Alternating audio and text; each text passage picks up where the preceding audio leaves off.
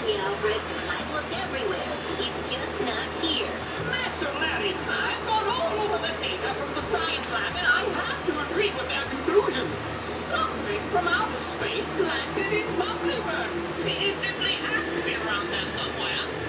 Look, Alfred, I've been driving around all day. I'm tired. I'm hungry. I've got to go to the bathroom. This is very.